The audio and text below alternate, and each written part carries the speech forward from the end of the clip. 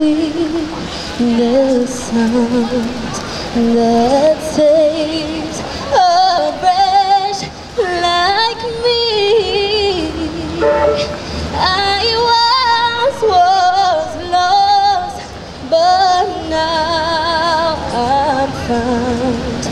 Was blind, but now I see. Was grace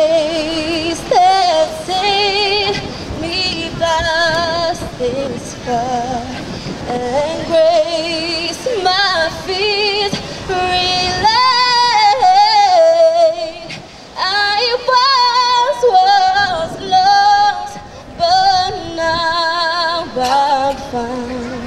Was blind, but now I see. Amen. Well done, Connie.